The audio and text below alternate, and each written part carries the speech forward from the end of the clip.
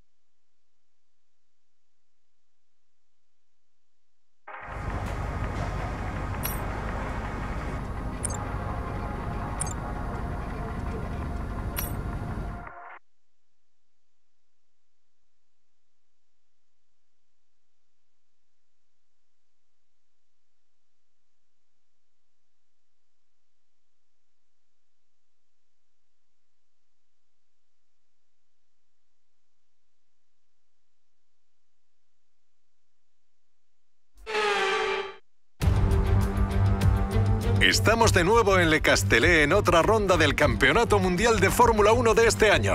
Renault consiguió su primer Gran Premio de Francia en la carrera inaugural de 1906, pero tuvo que esperar otros 73 años para conseguir el segundo.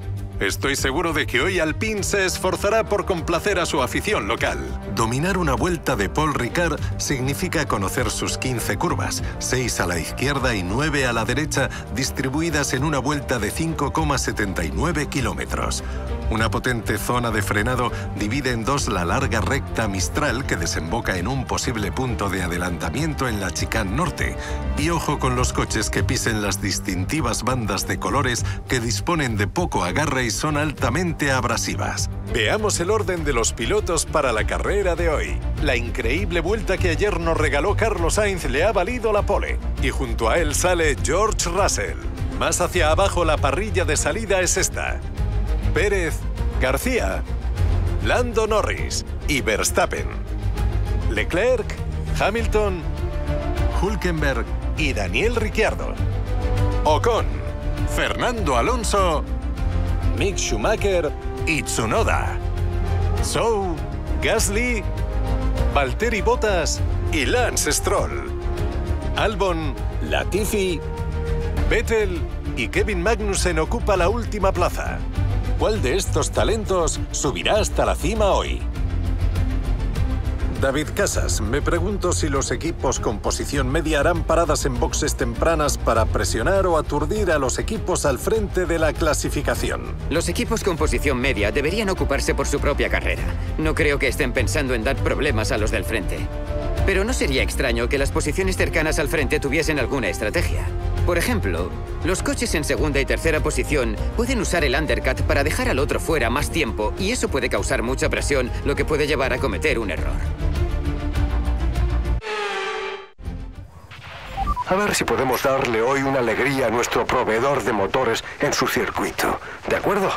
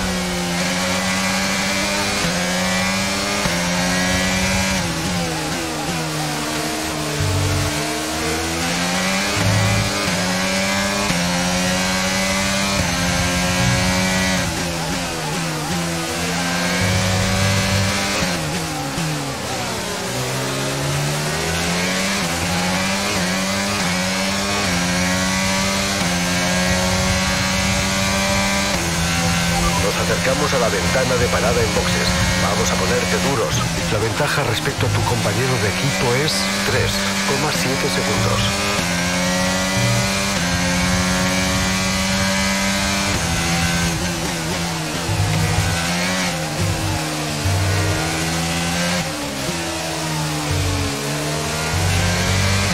El coche de delante va a 2,4 segundos.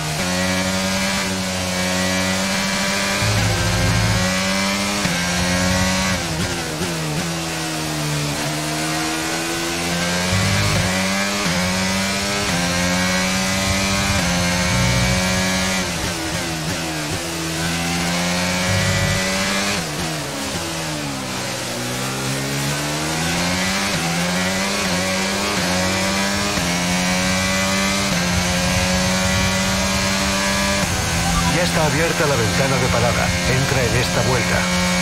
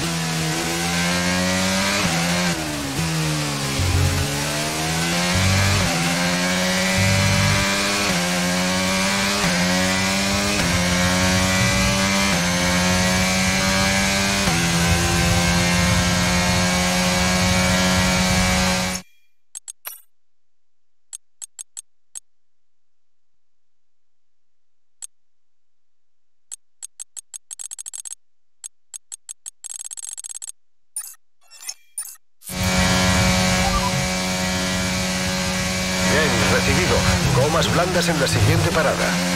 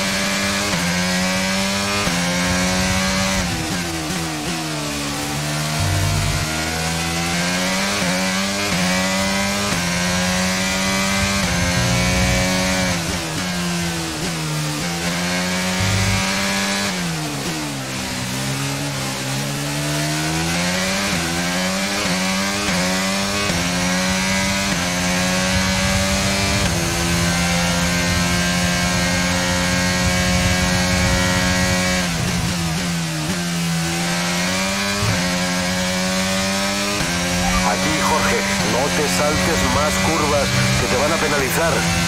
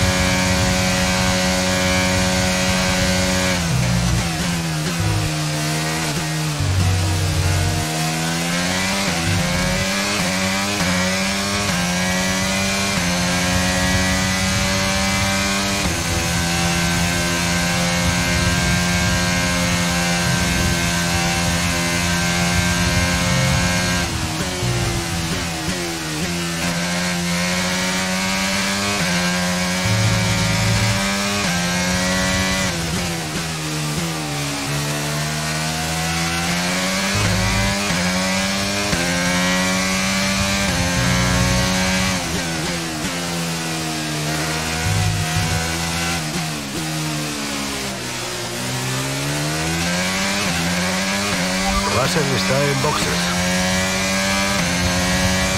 Nico va a hacer una parada. El aceite está ocupado ahora mismo. Sigue rodando, sigue rodando.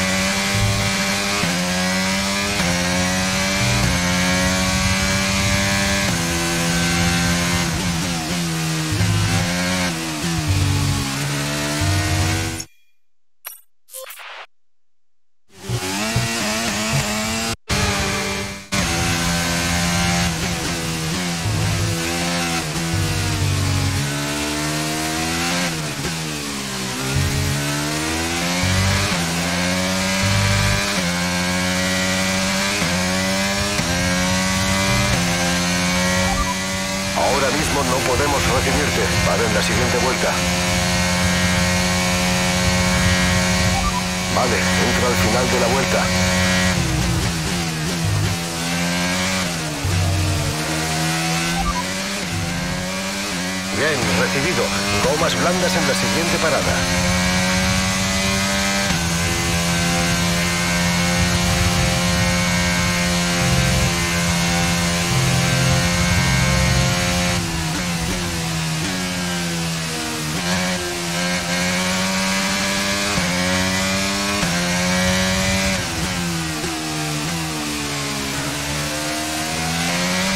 quedan cinco vueltas de combustible.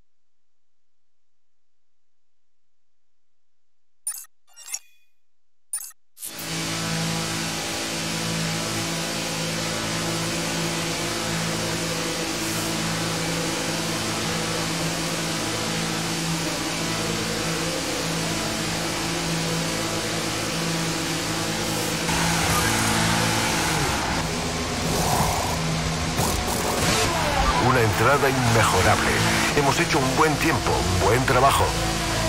Esa ha sido la última parada. No hay más entradas en boxes.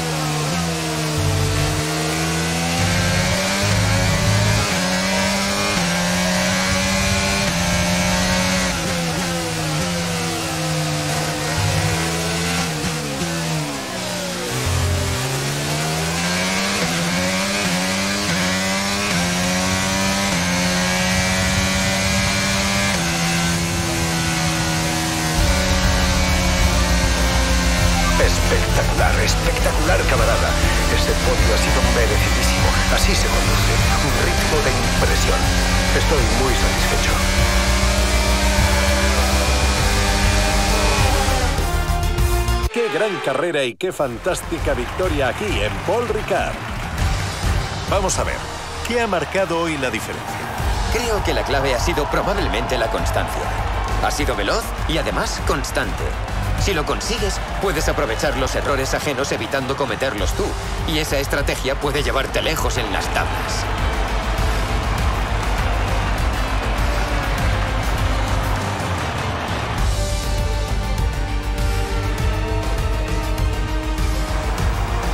Aquí llegan las estrellas de hoy. El equipo Red Bull está realizando un trabajo fenomenal últimamente. Es evidente que han hecho los deberes y esta es una victoria muy significativa.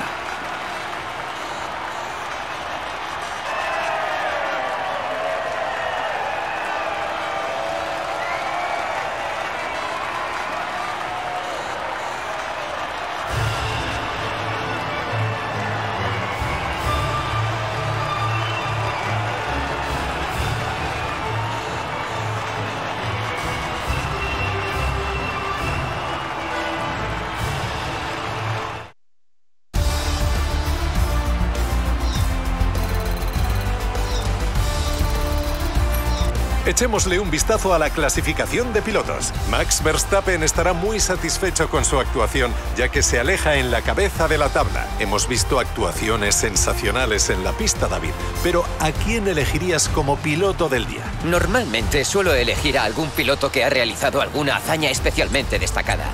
Hoy, sin embargo, me ha llamado más la atención el pilotaje constante de Max Verstappen durante toda la carrera. Y así está la clasificación de constructores. Ha sido una carrera dura para los líderes del campeonato que pierden terreno en la cabeza de la clasificación. Menuda carrera hemos presenciado. ¿Quién logrará alzarse con el título? Acompáñennos en la próxima carrera para seguir viviendo toda la emoción de la Fórmula 1.